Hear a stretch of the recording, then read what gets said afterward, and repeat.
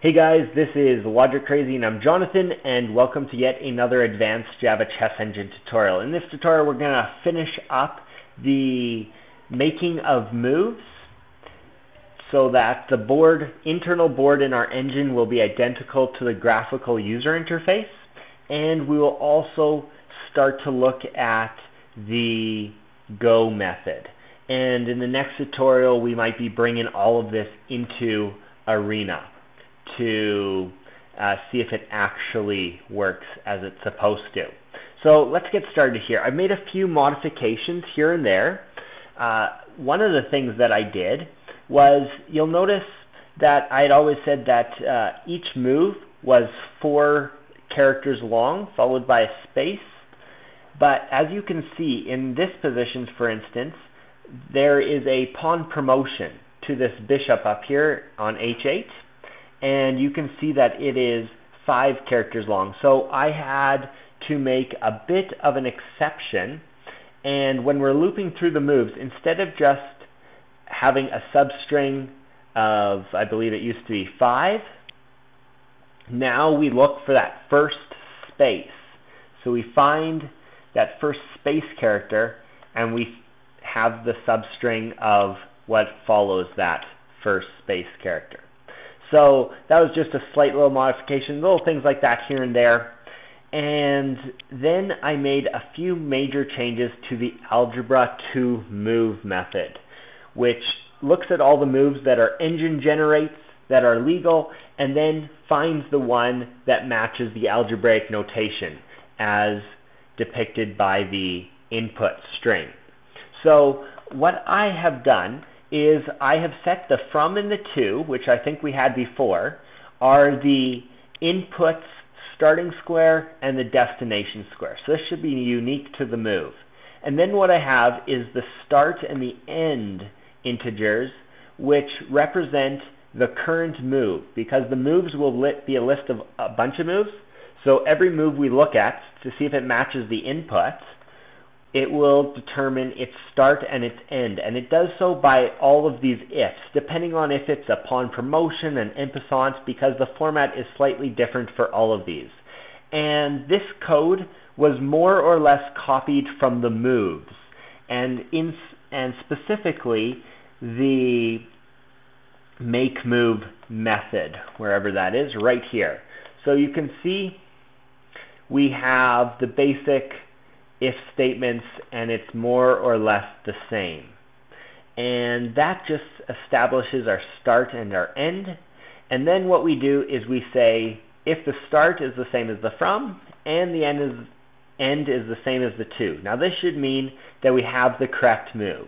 But I had to add one other if statement, which said either the last character is a space so, for instance, the fifth character, so this one, this move here, B1A1, is a space.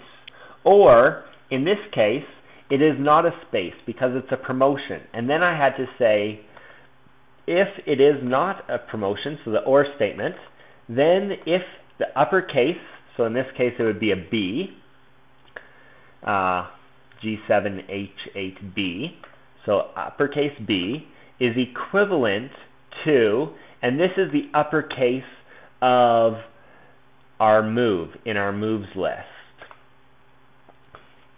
Character I plus 2 is that move. And I get that from moves and where the pawn makes a move right about here. We can see that this is the zeroth character first and this is the second. And that is the promotion type. And if those are equal, then we know for sure we have the right move and we can proceed. Now, all of this code I have added here to deal with castling rights and en passants and so on. Now, I did make a few modifications. Uh, you'll notice, for instance, that our en passant method here and our castling methods are above all our regular make moves. And Unlike that, in perft, they actually happened at the end, like so. Now, the reason for this is because in perft, the order didn't matter. because WK and WB were, or WK and BK were not affected by all of these make moves since they were stored in the temporary uh, bit boards, uh, bishop, queen, or uh, black, queen, temporary. And so in this case, since we are modifying the original, we need to call this first so that these make moves do not change the white pawn, which would mess up our en passant method. So I just made a few minor adjustments here and there, and it should work correctly. So if we run this, what I do is I go into Arena, and I establish this position.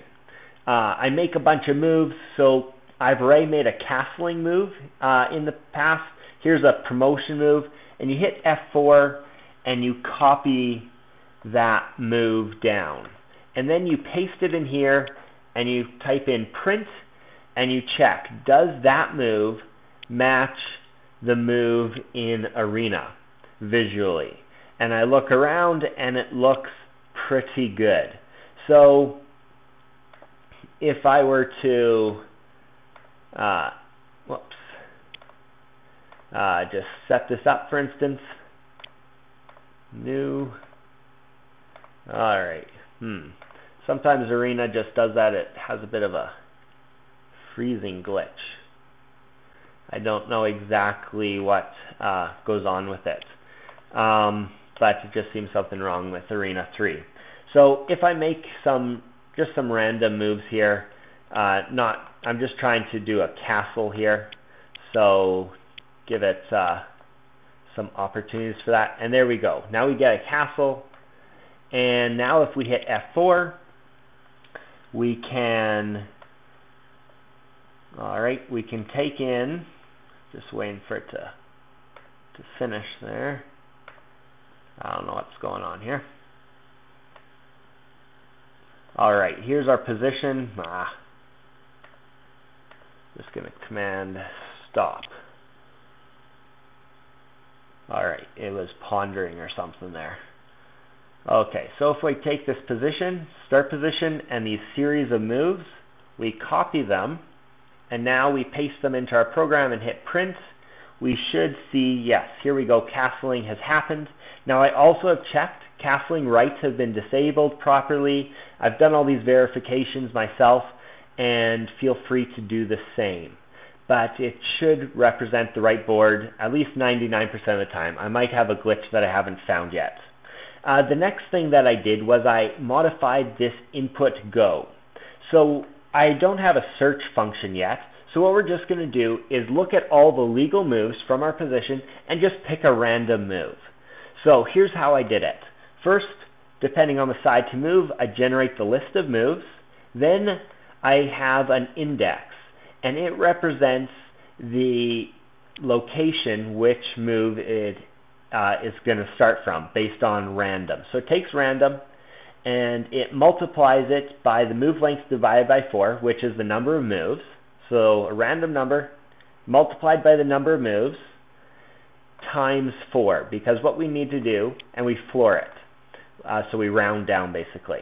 And by multiplying by 4, now we get the character uh, index instead of the move number.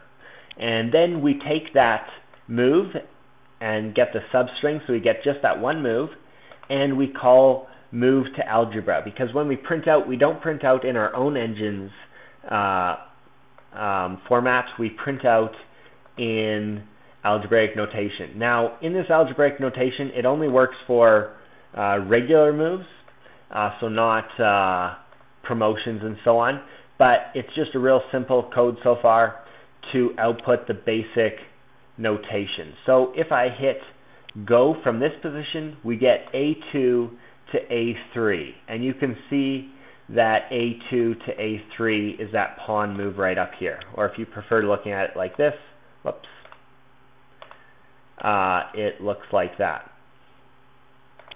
So A2 to A3 right there. And that is basically how it works. So now we have an engine that does respond and set up the board correctly based on the UCI format. In the next tutorial, we're going to work on improving this move to algebra so it includes everything and maybe even connecting it to Arena so that we can actually make sure that our engine is working correctly in practice. Until next time, enjoy chess.